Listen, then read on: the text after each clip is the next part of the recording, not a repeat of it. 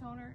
Like you put on I never to- used or toner. A I've- mist, like a mist kind of thing. That I would if it was a I mist. I think a mist. I Because think I I've- like mist. I used to um, do that whole thing, and they'd say you have to use a toner. Yeah. I don't understand a toner, so I, I would, but a spray might be easier than Yeah. s- putting it on cotton, and then put, plus it's wasting cotton. yeah, You know. and we know you love cotton.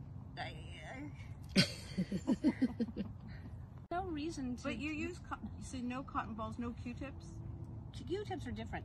It's I can't talk about it. I can't Okay. talk. It's All the right, it's all the it's different with cotton. Okay. Cotton balls are different than Q-tips. Okay. Cotton balls and cotton in general, when you Yeah.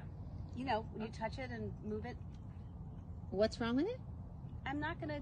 Why do we want to talk about it? I know. Well, clearly there's something. I mean, obviously it sounds like that's all about a cotton ball, not a cotton pad, and not a Q-tip. But Why don't we just talk about Kind Science? next thing you're gonna say you don't like styrofoam. Ah, God, I hate styrofoam. I hate Oh. styrofoam. Oh, it's